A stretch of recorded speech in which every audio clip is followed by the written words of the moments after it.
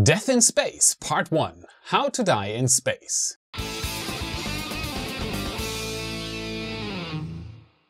My name is Felix, and I am your host for today's episode of What About It. Before we start this life-threatening journey, I'd like to send out a quick thank you to all my patrons. It is still incredible to me that there are so many of you out there willing to support the cause. So thank you for joining the club, it is very much appreciated. Today's episode is part one of a two-part experience. An experience every starman on board a SpaceX Starship or NASA Orion capsule will have to face chasing our dream. So I invited a guest star for today's episode. Everyone, please give a warm welcome to Starman. He was so nice to visit and show us today what kinds of dangers he's going to face on the way to Mars. In part 1, we'll take a deep dive into the hazards of space. We will explore the major dangers that lurk beyond our atmosphere. And in part 2, coming up this Thursday, we will see how we can outsmart these dangers to give our Starman a chance of truly becoming an interplanetary traveler.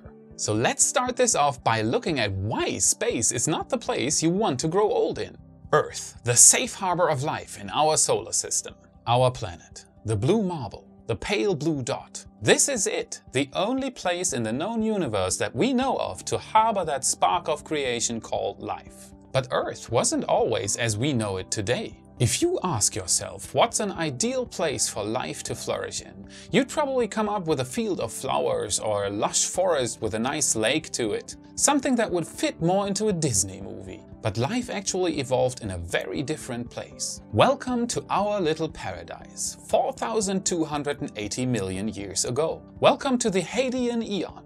Extreme heat, an unbreathable atmosphere, harsh cosmic radiation, volcanoes from below and meteors from above. Still, life came into existence in what we'd call a hell to today's standards, as that's what Hadean means translated from Latin. As strange as it might seem, over billions of years, life terraformed Earth into the paradise we got so used to, that we don't even appreciate the way we should. But that's another topic, maybe for another episode. Over the millennia, life became soft. We became soft. This lush forest, this field of flowers is nothing like what surrounds us. The dark void that is space. If you watch this channel regularly, chances are high you love space. You love rockets, you love satellites, and you love astronauts on the moon. But do you know what exactly you love? It's not a lush forest, that's for sure. Imagine that forest at minus 270 degrees Celsius in an almost perfect vacuum without trees. Welcome to interplanetary space. You see, the problem with colonizing Mars is not only building a rocket and then figuring out how to grow a lush forest in a toxic environment on our red neighbor. It's also the part in between. At its closest approach to Earth in July 2018, for example, Mars was still 57.6 million kilometers away. In 2006, we shot the New Horizons probe towards Pluto at a speed of roughly 58,000 kilometers per hour. If we shoot a spacecraft towards Mars at this speed, it would get there in 942 hours or 39 days. That sounds easy, right? But it isn't. If we pointed the rocket straight at Mars and launched it, Mars would be gone by the time the spacecraft would reach its target. Mars orbits the Sun as all the other planets do, so getting to Mars is more of a chase. This makes the trip a lot longer. The shortest we ever managed to do was Mariner 7's flyby in 1969. It took the probe 128 days to get to Mars. If we completely ignore the fact that Mariner 7 did a flyby and so didn't have to enter orbit, it would mean 128 days of pure danger for our brave starmen in their SpaceX Starship. But what about it? What are those dangers exactly? What would our starman have to endure to reach that future lush forest? Vacuum, or how to die by lack of zeros. Space, the final frontier. These might be the words that come to mind when you gaze up at the stars on a clear night. But what about it? What exactly is that dark stuff that separates the stars? It's space, mostly empty space. But how empty is it exactly? The average density of interplanetary space is 1000 atoms per cubic meter of space. But as always, let me put that into perspective for you. Each cubic meter of air on Earth contains about 10 trillion trillion atoms. A trillion, by the way, is a 1 with 18 zeros. Therefore 10 trillion trillions is a 1 with 24 zeros. This is reduced to around 4 trillion trillion at the top of Mount Everest. A hundred kilometers up at the border of space, the Kármán line, there are around a million trillion atoms per cubic meter. At the International Space Station, roughly 350 kilometers away, there are only around 10 trillion.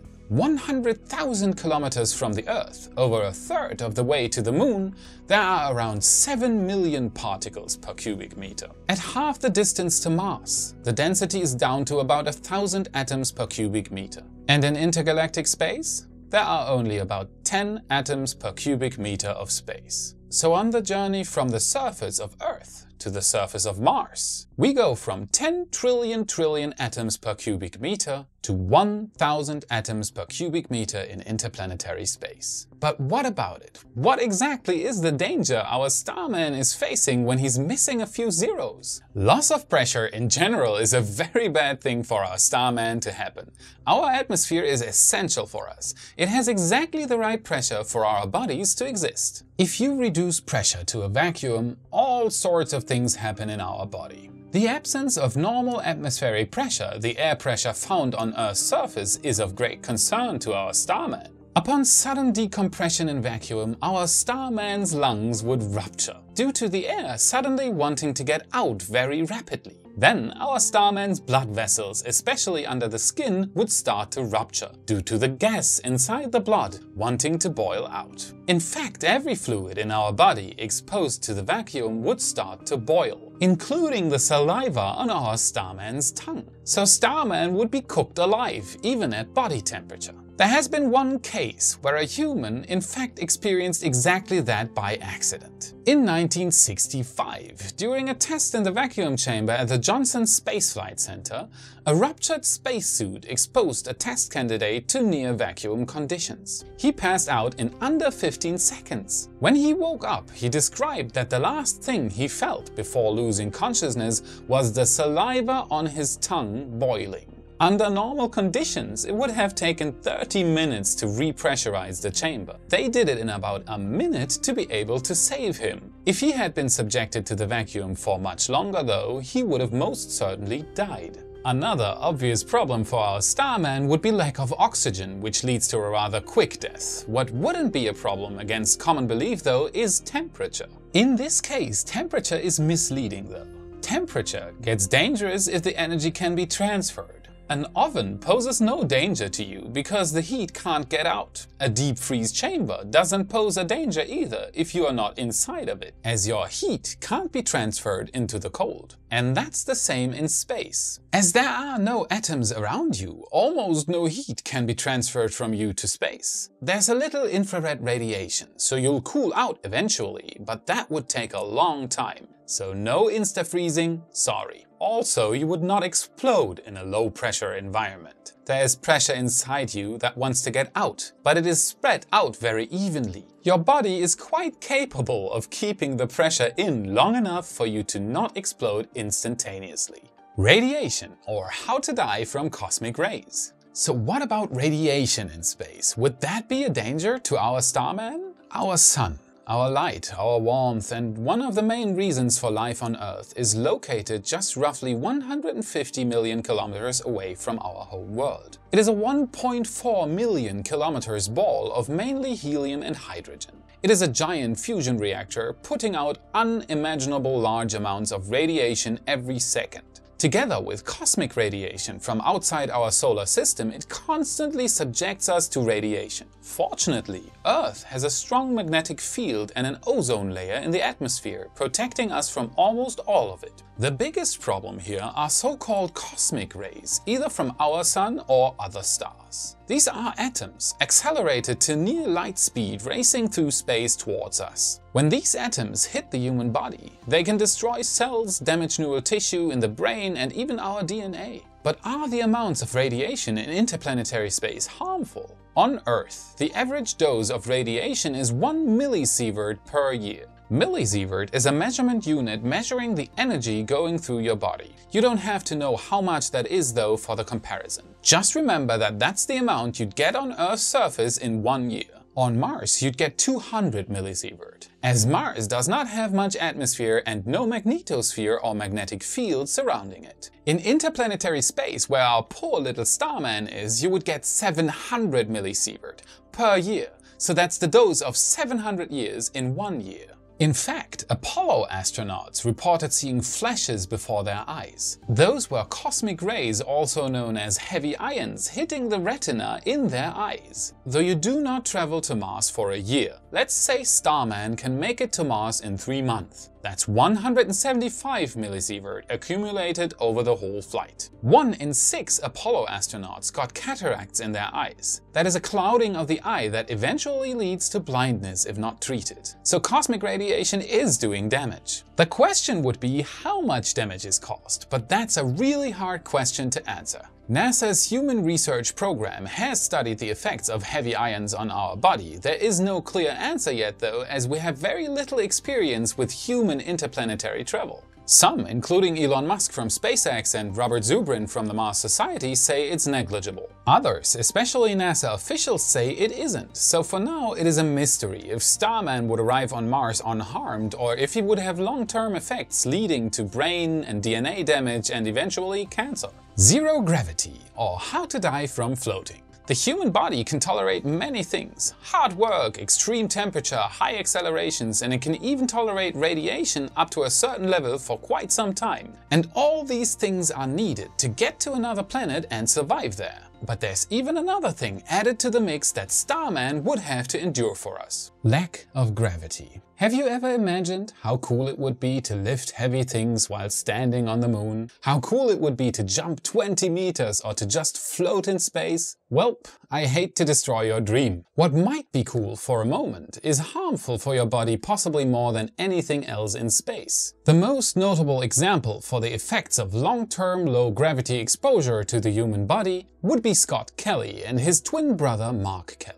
Where Mark Kelly stayed on Earth as a control subject, Scott Kelly agreed to stay on the ISS for a whole year to study the effects of microgravity on the human body. In space, everything is weightless. As soon as we experience weightlessness for a longer time, our body develops a very bad habit. It starts to reduce itself. When we don't constantly use our muscles and strain our bone structure, our body gets rid of what's not used. In space, that might be no problem at first. But could the effects of zero gravity harm our starman on his journey to Mars? Scott Kelly did hard exercise every day to keep his body in shape. He worked out as much as an athlete would on Earth to prevent the damage from happening and it seems like he had success. There were some minor changes. His retina got thicker, his carotid artery got thicker, his chromosomes got changed. Of the chromosome changes, 90% reverted back to normal after he returned to Earth. 10% though stayed changed. His bones and muscles were mostly preserved as he did a great job with his exercises. So no, even if we get subjected to space's almost non-existing gravity, it does not harm our health that much. At least not on a trip to Mars. Starman is safe, but he has to work out a lot on the flight. Micrometeorites or how to die from super fast dust. Now this last one is very popular in Hollywood movies. When Sandra Bullock is fighting for survival, eyes widen and popcorn is chewed. But is the danger real? Would Starman have to constantly be afraid of getting hit by these tiny but very fast micrometeorites? Micrometeorites are smaller than a pinhead in size and only a few milligrams heavy. But they travel very fast. Even though they are so small and rare, they pose a real danger to astronauts. So real that there have been quite a few hits on spacecrafts that we know of. The cupola on the ISS, for example, has a shutter system for the windows to protect it from micrometeorites. So would Starman be in danger? Yes and no, micrometeorites exist, but they are very rare. So Starman would be relatively safe if he has the right protection. So what's the conclusion? It probably depends on the side of the argument you're on. There are those who say that safety comes first. And there are those who might argue that frontier exploration is not about safety first and can't be as there might be unknown aspects that we can't get rid of or mitigate. When the Apollo program worked towards getting the first human on the moon, people died. Still, brave astronauts continued knowing they might not come back. Waiting for that moment when everything will be safe might not be an option after all. But what we can do is protect our Starman from those risks as good as we can and give him the safest journey possible. Now you might be asking, Felix, what about it? What kind of protections would Starman need? And I would respond to you, remember? This is a two-part episode. Find out in Thursday's episode of What About It. So this wraps up today's episode of What About It? Will Starman arrive on Mars in his starship or will he suffer death in space? As always, tell me in the comments. And the end of the episode is always reserved to those special people sharing a Discord server with me and more importantly, paying for something that is totally free because they love it so much, my patrons. And as in every episode, there are more names to put on that list. Everybody give a warm welcome to Martin Bioli, Thomas Kelly, Simon Gould and Pete N. You guys are my heroes. Thank you for watching this episode of What About It. If you liked what you saw, don't forget to subscribe and like as this helps me the most. Feel free to hit me up on my Patreon page so I can get additional help in doing more and better content as this gives me the time to focus on what I love doing the most. To bring you the latest and greatest about space and science. I hope to see you on the next episode. Until then, have a great time. The pale blue butt. The pale blue butt. okay. Space, the final frontier. And there are those who might argue that safety first is not what I wanted to say. Oh.